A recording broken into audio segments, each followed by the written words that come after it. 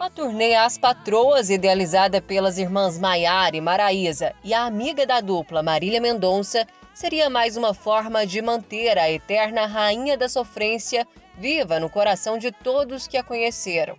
Mas na última quinta-feira veio a notícia que pegou todo mundo de surpresa.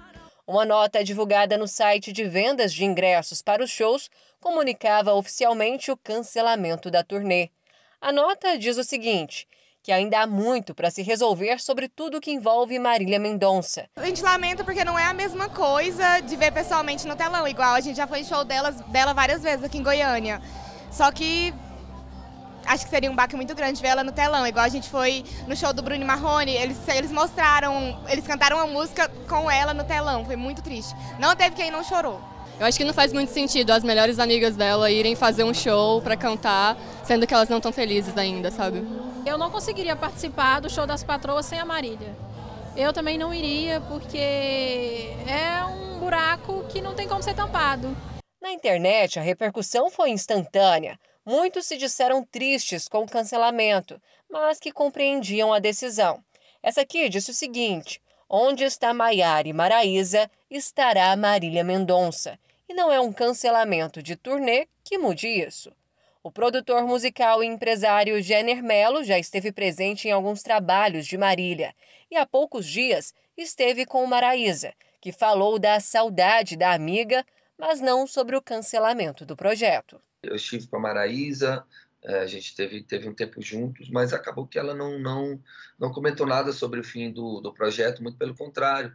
Na nossa conversa, ela, ela falou sobre os resultados né, da, do, do, projeto das patroas, que tem sido realmente incrível. Jenner acredita que o cancelamento pode ter sido provocado por questões burocráticas, mas lembra que o trabalho perdeu uma liderança importante. A gente perde a maior líder desse movimento feminino da música sertaneja, né? Que a Marília não somente musicalmente, mas a postura de liderança dela, a postura de estar à frente, a postura de, de bater o pé, de estabelecer ali a, a, a visão do que ela do que ela do que ela acreditava, a gente acaba perdendo isso, né?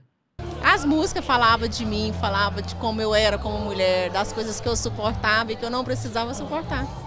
Marília Mendonça morreu em um trágico acidente aéreo com parte de sua equipe em novembro do ano passado, menos de um mês depois de ter lançado o projeto As Patroas, ao lado de Maiara e Maraísa. Depois do acidente, as irmãs decidiram que continuariam a turnê como forma de homenagear a amiga. Os ingressos já tinham sido vendidos em quatro capitais. O primeiro show estava marcado para o dia 19 de março de 2022 em Belo Horizonte. Em abril, elas visitariam o Rio de Janeiro e São Paulo, e em maio, Brasília. Segundo a empresa responsável pela venda dos ingressos, todos que compraram as entradas para os shows das patroas serão reembolsados. Como a própria nota divulgada diz que o projeto ainda é um desejo de Maiara e Maraísa, fãs e amigos acreditam que esse sonho ainda não acabou.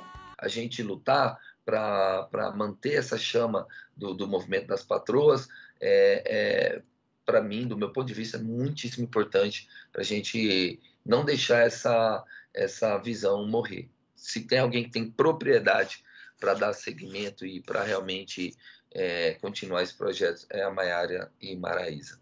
Se pelo menos continuasse as duas né, na turnê, cantando até as músicas dela junto, para dizer que ela está fazendo falta, mas que está sendo lembrada ao mesmo tempo. Respeita a sua namorada.